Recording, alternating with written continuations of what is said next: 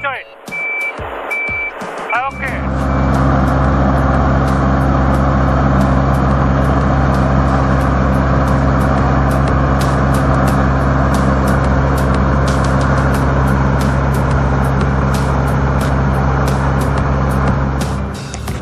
今日はですね嫁さんと2人で稲刈りし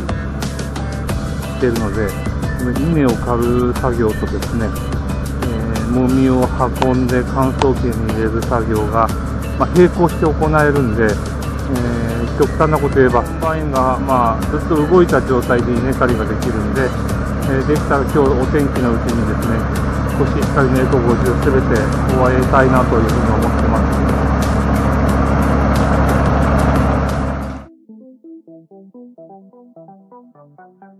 たい焼きでちょっと休憩して疲れを取ったんでこれからもう少し、えー、今11時半なんですけどもちょっとお昼ご飯を遅めにしてですねもう少し稲刈りを進めたいと思います。頑張ります。